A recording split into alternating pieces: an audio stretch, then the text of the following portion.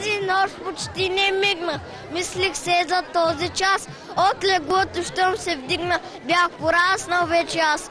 Баба каза възхитена, как различен не си ти. Мама се засмя смутена, татко изумен мълчи.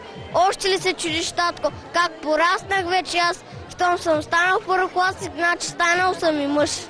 На фона на тежката демографска картина в страната, едно училище в Бургас показва радостна тенденция.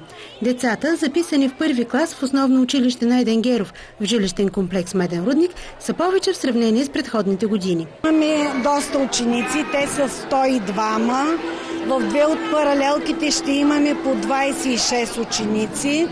А, наистина този випуск е доста а, голям сравнение с предходните години.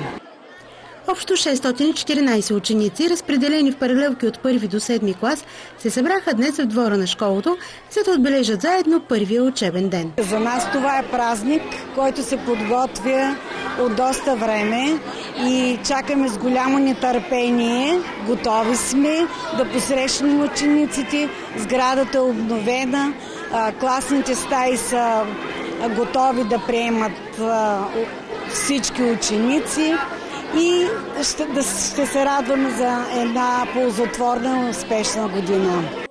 За първи път прага на училището, но като преподавател ще прекрачи и най-младото попълнение в учителския колектив на Найден Геров Пламена Юрданова. Много се вълнувам, тъй като за първи път а, влизам в училище вече като преподавател. преподавател, да.